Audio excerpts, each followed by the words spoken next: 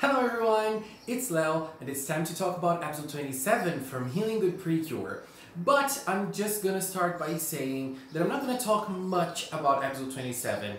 I didn't really enjoy this episode and I don't think that it was that important. But we had the villain portion and the end of the episode which was pretty big and that's what we're gonna talk about the most. So let's just start by talking about the balloons and Asumi to jump to the important part later. I want to say something that got me very, very happy. Right at the start of the episode, we had the balloons and we had a scene with a Prunce balloon and the rocket balloon from Star Twinkle Precure. I loved that so much. You guys have no idea how happy I was. And then after that, we had another scene that made me extremely, extremely happy. There was the balloon of the team who was friends with Nodoka's parents, and at the in the same shot there were other two balloons, and they were the LGBT flag and the trans flag. I know you might say, oh, it's just a rainbow balloon and just a pink and blue balloon, but both of them together in the same shot and they were the only two balloons in that shot apart from the main balloon. I honestly don't think it's just a fluke. I honestly don't think. I really believe that they were just giving a shout out to people like us and I was super happy with that. Oh my god, this means the world to me and I was just ecstatic. And then we just had the plot and you know, also we, we learned about how balloons fly and they seem very complicated to be honest. And then Asumi was learning about that too. It was cute the way they drew things in a very cartoony way to explain that. I liked it. And Asumi was rooting for them. And in this episode, she learned different emotions like passion and frustration. And the frustration part was kind of interesting. You know, I liked it. But the problem is, in the first race, in the first trial, the the team that we, we were following didn't win, which was okay, it was normal. And uh, Asumi was feeling very frustrated for them because they knew how passionate they were. And so in the second team, we had someone who couldn't do it, and Asumi jumped in and said, Look, I can help you, I can know how the wind will work. And this was not that nice, I believe. First of all, Asumi has mythical powers, and so I think that it usually deflects from what Precure is of, you know, you trying hard and winning things by yourself. Asumi wasn't helping them based on what she could achieve. Instead, she was just helping them because she has this power in her.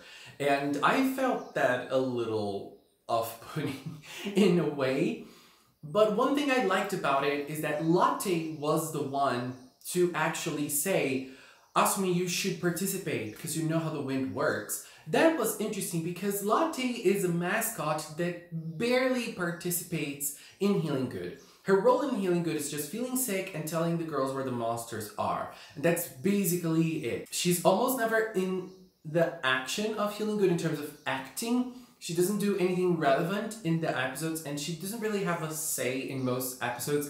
And in this one she did. So that part I get it. And then we had the guy flying with the balloon and Asumi, you know, helping him and that was supposed to be like super emotional. And I was like, you're just gonna win because the spirit, the spirit of the wind is helping you.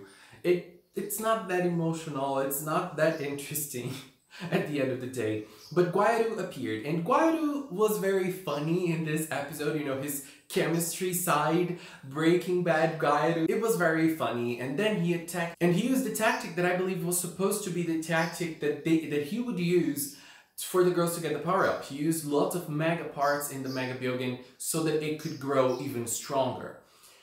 But at the end of the day, it was not a problem for Cure Earth. And the fight was very nice. Cure Earth was able to use the harp for the first time in a different way and I absolutely loved it. The way she played the harp to control the wind. And she did like a wind saucer and then she threw at the monster and then she was able to control the wind. She was able to control the currents.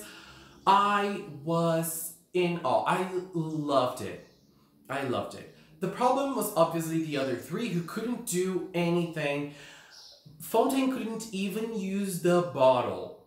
Oh my god, that was so frustrating. I really want the girls to get stronger. And the problem, uh, I see lots of people commenting, oh, Cure Earth is too strong, she's, you know, disbalancing the, the, the harmony of the team. And I don't think the problem is Cure Earth. Cure Earth, on one hand, is very nice. I love seeing her fight, and she is obviously the most interesting part of the fights of this whole season. The problem is with the other three, who are very weak. They should have been stronger. You know, since since the start of the season, they're very weak. So they should have been stronger. This is not a problem of Cure Earth being stronger than them. And so they won uh, very easily. Cure Earth could be the monster very easily, and they got the air bottle finally. And we now are with one bottle only. And Hinata says something very interesting when we get to see all the bottles lined up like that. She says that after we get all the bottles, something interesting might happen. How does she know that? I don't know, but maybe that's the power up. When they get all the bottles, the power up might be born. So I'm very interesting to see that, you know, every time the Precures collect something that they're supposed to be collecting in a season, something interesting happens. And then we get to the end of the episode, which is the biggest part of it. Here's my problem with Healing Good.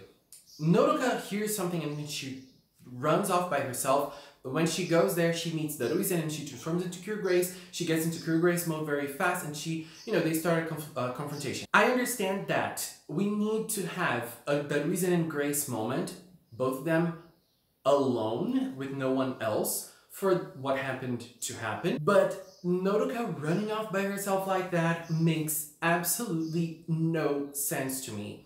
Nodoka being an impulsive character was never really established in Healing Good, so for her to run off without calling the others, or at least mentioning to the others that she heard something, it just doesn't feel believable.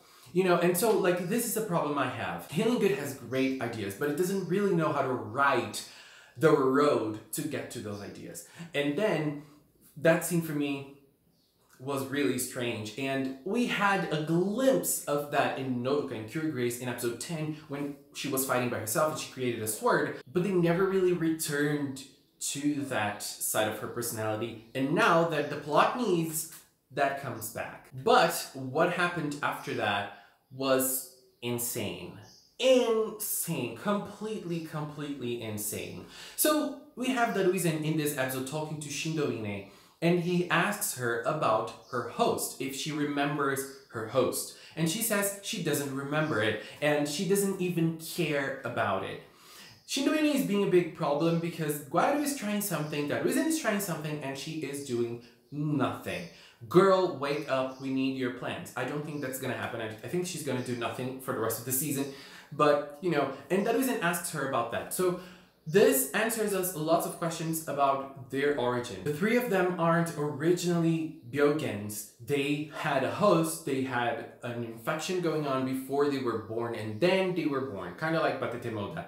And they don't remember who their hosts are. So, what happened at the end of the episode was that Daruizen infected Nodoka or Cure Grace with a Megapart. And when she was infected, she fell down, she couldn't do anything, and he just escaped because he wants to see what is going to happen to her. Oh god, this is insane. I was shocked when I saw that. I was shocked. Oh my god. I was like, what the hell is going on here? Uh, we already knew that Nodoka was going to be sick, but girl, Oh god. And then uh, in the preview, we see a different Daruizen. We see a Daruizen who we haven't seen before, and I am interested to know what that is about. So I obviously have my theories, I've been talking to Inu, and I have my own theories in my mind. I believe that Daruizen was born from Nodoka when she was a child, when she was a young child, and she was sick. At that time, she was infected with Byogens, and that's the origin of uh, reason. That is why she was sick, that is why she was hospitalized, but obviously since it was a magical thing, she got a little better after that, but obviously the, the side effects stayed with her and she kind of lived a sickly life up until now. and Daruizen was born when she was a child. I believe that Daruizen was born like long, long, long time ago since the first Cure Earth because he mentions her in the first episode and when he sees her, he knows about her. But that can be more or less the case just like Batetemoda was. Like Batetemoda knew about stuff, but he wasn't there around when they happened. But he knew about those things probably because King Byogen told him. That might have been the same thing with Daruizen. And so we see a different Daruizen and he has a flower in his eye, which is Grace's motive, Nodoka's motive. So I I'm confused. I'm really confused. So I really believe that that is the the focus of Daruizen now. Uh, we're, we're probably gonna learn a lot and lots about him and about his story in the next episode and I'm so curious and I feel so sorry for Nodoka. She does not deserve to go through that. Oh my god, that is so sad. She really, really doesn't deserve it. oh damn. But next episode is going to be a ride for sure. I'm scared! Anyways, please share your thoughts on episode 27 and Daruizen on the comment box below. Let's keep talking. Thank you so much for watching and until next time, bye bye!